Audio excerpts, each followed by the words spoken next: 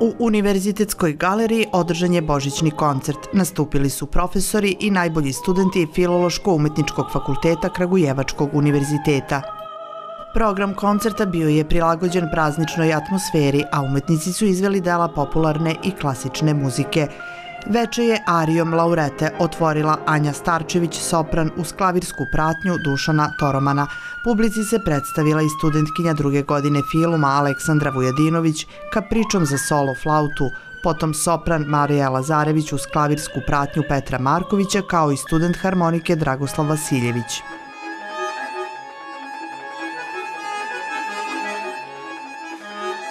Najveća nagrada, eto, po pre dva, tri meseca u Švajcarskoj svetski kup, tu sam osvojio, bio sam pobednik, to mi je, da kažemo, najveća nagrada do sad, a večeras ću izvesti od Franca Lista Slavuja. Trio za sopran, violončelo i klavir na stihove Miloša Crnjanskog izvele su Jovana Vukajlović, Nevena Radojković i Jelisaveta Begović. Koncert je nastavljen nastupom Jovane Vukajlović, Stefana Miloševića, Petra Markovića. Umetnički saradnik Sanja Četrović je na klaviru odsvirala Vatromet Kloda Debisija, a koncert je završen nastupom soprana Dunja Jovančević uz klavirsku pratnju Dušana Toromana Ario Margarete iz opere Faust.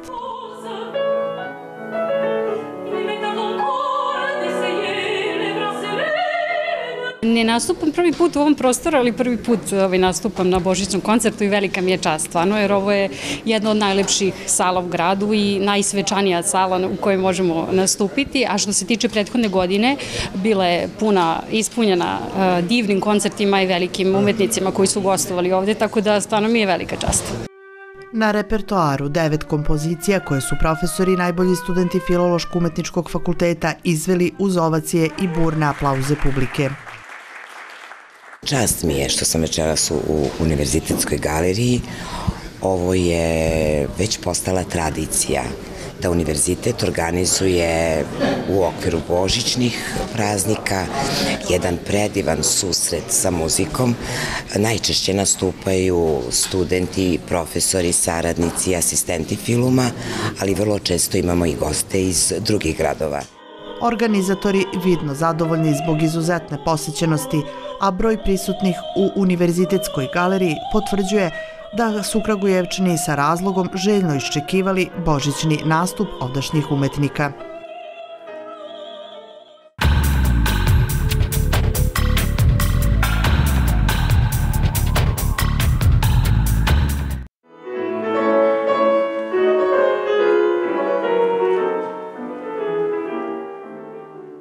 Novu koncertnu sezonu muzičkog centra otvorio je ukrinski pijanista Jurij Kot.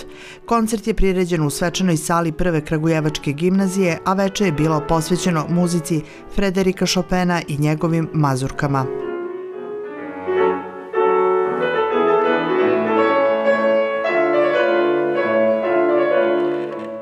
Eminentni umetnik Juri Kot već dugi niz godina sarađuje sa muzičkom školom u Kragujevcu gde drži seminare za klavir i radi kao gostujući profesor. Prvi put kada je nastupao u Kragujevcu 1995. godine, pijanista Kot publici se poklonio upravo u svečanoj sali prve Kragujevačke gimnazije.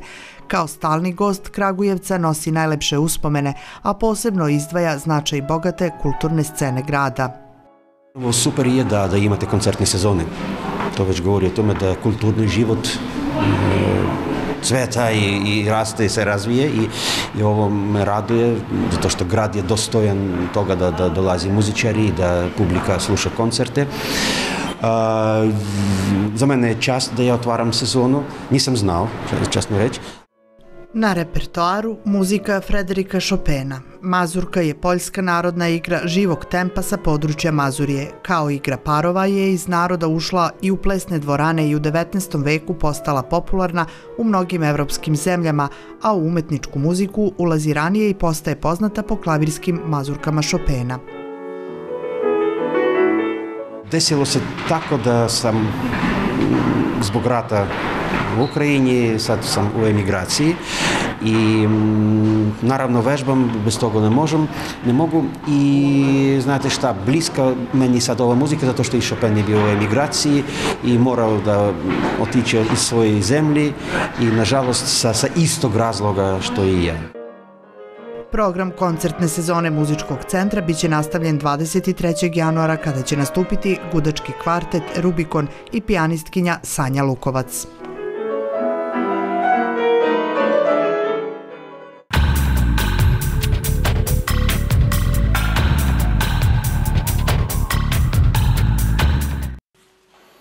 U Univerzitetskoj galeriji otvorena je izložba General Dušan Dodić, junak Velikog rata. Postavka je deo projekta Vek Velikog rata 1918-2018, koji su povodom obeležavanja stogodišnjice od početka Prvog svetskog rata realizovali Zavičajni muzej iz Jagodine i Narodni univerzitet iz Trstenika.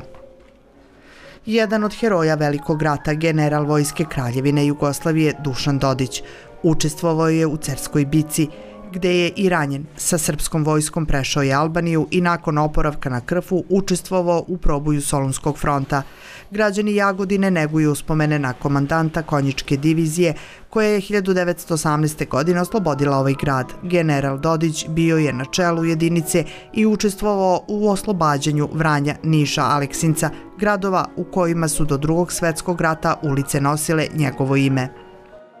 Okosnica izložbe je ratni dnevnik koji je on vodio za vreme Prvog svetskog rata. To je jedna nevelika sveščica koju je on ispisao onako sitnim pedantnim rukopisom. Tu, izlož, tu sveščicu, taj ratni dnevnik smo izložili večeras ovde na izložbi. Na svakom panu je prikazan taj životni put, znači to selo gde je njegovi roditelji, koliko, koji su mu bila braća, to školovanje, vojna karijera, O srpskom generalu se malo znalo sve dok porodica nije javnosti ustupila njegov ratni dnevnik. Na otvaranju izložbe govorio je i unuk generala Dodića, profesor doktor Veljko Milutinović. Taj dnevnik je poklonila moja majka koja ga je zajedno sa ujakom čuvala kao porodičnu svetinju. Pa su onda u jednom trenutku kad sam ja otišao u svet, mislili da tu neće niko ostati iza njih. Ujak nije imao dece nikakve, a ja sam bio jedinac kod svoje majke. Oni su onda to poklonili Jagodinskom muzeju. Dušan Dodić potiče iz Milutovca kod Trstenika. Jedno vreme boravio je i u Kragujevcu gde je završio prvu gimnaziju. Na izložbi se mogu videti fotografije, građa iz Fonda Narodnog muzeja Jagodine, ali i predmeti iz privatne kolekcije porodice Milutinović. Univerzitet u Kragovcu snažno podržava ovakve, da kažem, istorijsko-kulturne manifestacije i događaje, pre svega zato što neguje i tradiciju i duh srpske vojske sa ovih krajeva i pre svega zato što Univerzitet u Kragovcu ima i ozbiljne namere da uspostavi jedan novi department koji će se baviti istorijsko-kulturnim pitanjima. General Dušan Dodić je penzionisan 1939. godine da bi već 1941. godine bio mobilisan, a zatim i zarobljen kao oficir u penziji. U logoru u Nemačkoj dočekao je kraj drugog svetskog rata. Vezan zakletvom kralju i otačbini ostao je u Nemačkoj gde je 1955. godine preminuo. Odlikovan je 20 puta.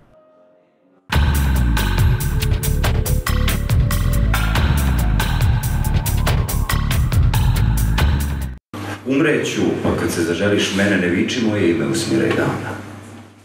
U Vinsko-Rakijskom hubu kući Đure Jakšića organizovano je drugo po redu muzičko-poetsko veče. U programu su učestvovali glumci Knjaževsko-srpskog teatra Saša Pilipović i Nikola Milojević.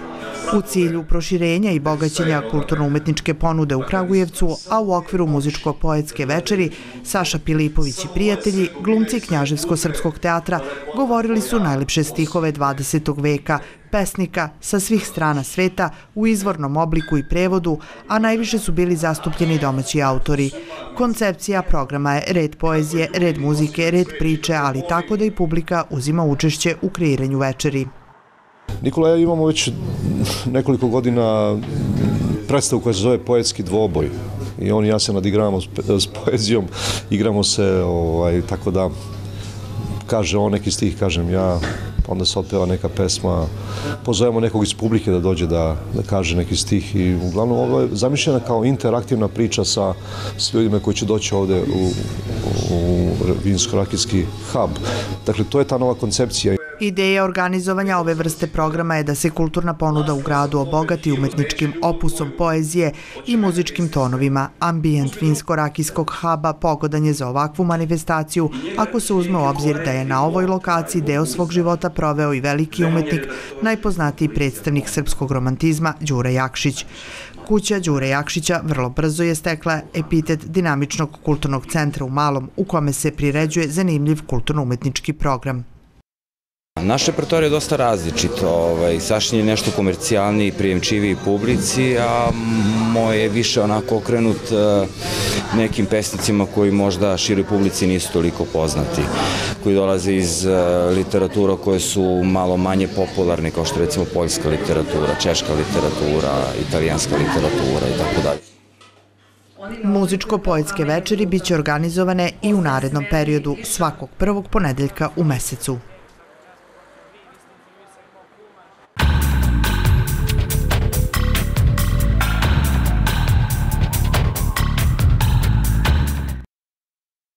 Osmu godinu za redom, grad Kragujevac raspisuje konkurs za projekte, programe i manifestacije u kulturi koji se sufinansiraju ili finansiraju sredstvima iz gradskog budžeta za 2023. godinu. Grad Kragujevac kroz konkurs podržava produkciju raznovrsnih programa iz kulture, čime se unapređuje kulturna ponuda i stvara nova publika. Autori vizuelnih primenjenih muzičkih, književnih, digitalnih i multimedijalnih umetničkih programa svoje nove ideje mogu da prijave uskoro na konkurs.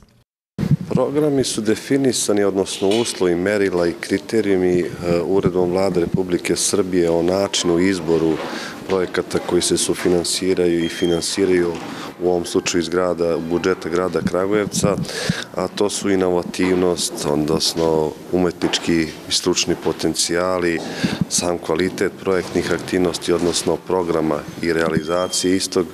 I ono što je najvažnije, E, stepen uticaja na kvalitet e, kulturnog života u gradu. Naravno, ima se u vidu i finanski plan, koliko je on racionalan, koliko je objektivan, koliko je dobro strukturiran, tako da su to glavni parametri na osnovu kojih se komisija vodi. Tako će biti i ove godine. E, Program, odnosno konkurs, će biti raspisan do kraja meseca januara, inače je definisan odlukom o budžetu grada Kragujevca za 2023. godinu. Budžet opredeljen u tu svrhu iznosi 40 miliona dinara. Prošle godine, zahvaljujući sada već tradicionalnom konkursu, publika je mogla da vidi niz festivala, promocija, premijera dokumentarnih filmova i izložbi, likovnih kolonije, radionica, umetničkih susreta. Ostvarili smo kontinuitet, što je jako važno u kulturi i kao što sam više puta isicao, ne samo da je važan kontinuitet, težimo sve više kvalitetu.